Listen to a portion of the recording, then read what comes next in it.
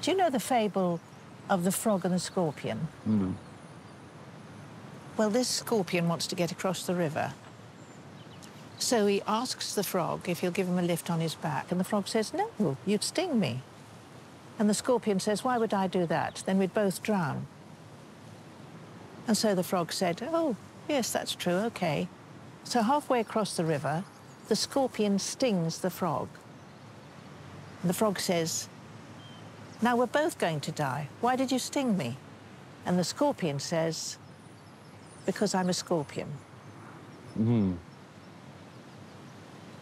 Yeah.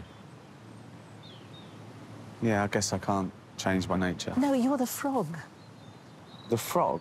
Yes. Really? Why? Well, you knew you wouldn't enjoy that meditation thing, but you went anyway to please someone else. And then you got angry, and you even feel bad about that.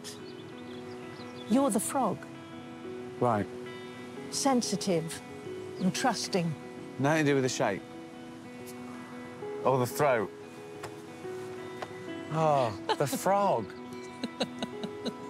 I was hoping I was the scorpion. Yeah, I thought you would. Do you know what I mean? Yes. Only because it's cooler. I love frogs. But what I mean is, no one ever says, oh, I'd like a man. I'd like him to be sort of podgy and sticky. There. I'd like you to be able to hang on to a leaf. I'd like my man to be able to shove a worm into his mouth with his front feet.